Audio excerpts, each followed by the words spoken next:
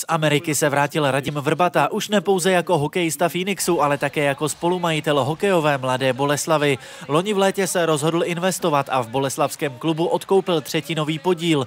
Kromě Vrbaty má třetinu ještě předseda představenstva Jan Plachý, další třetinu vlastní město.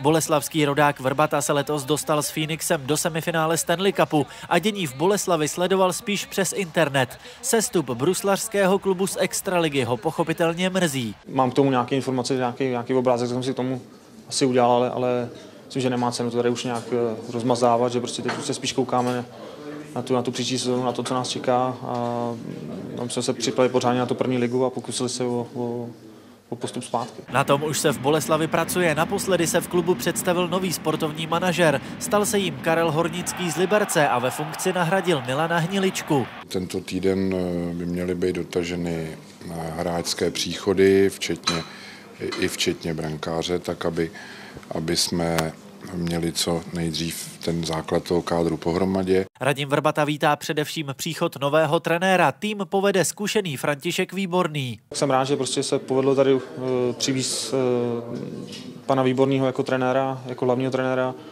Uh, myslím, že ten, ten by nám mohl, mohl hodně pomoct. Vrbata má mnoho společného také s Jaromírem Jágrem. Hokejová legenda totiž vlastní Kladno a tak si během sezony vyměňovali zkušenosti. Je pravda, že když jsme hráli ve Philadelphia, tak jsme byli na večeři jak s Jardou, tak s Jakubem Voráčkem a s klukama z Phoenixu, takže tam jsme, tam jsme se o tom bavili, a, ale to bylo na začátku sezóny. tam to ještě vypadalo trošku víc pozitivnější, než jak to nakonec dopadlo, ale, ale je pravda, že, že jsme se o tom eh, s Jardou bavili. No.